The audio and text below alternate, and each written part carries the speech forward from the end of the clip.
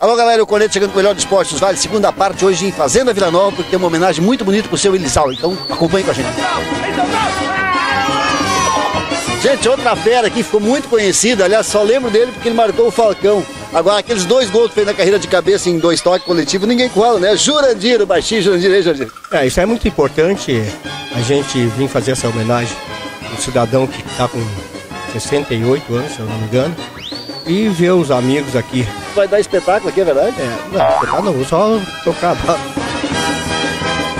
Bem, gente, seu Elisaldo jogou, já fez gol, a gente perdeu o gol, mas a comemoração tá aí com vocês. Mas ele tem um convite a fazer agora. Pra onde é que a gente vai agora, seu Elisaldo? Como é que é? Pra onde é que nós vamos agora? Ah, eu vou ficar aqui do lado do campo, daqui a pouco eu vou pro jogo de novo. E depois vamos pro... Depois vamos pro churrasco. Ah, né? então- Churrascão aí na Vila Nova, né? Bom, a gente tá indo então com o seu Elisaldo homenageado aqui em Fazenda Vila Nova. Até domingo que vem, gente. Valeu, tchau, fui!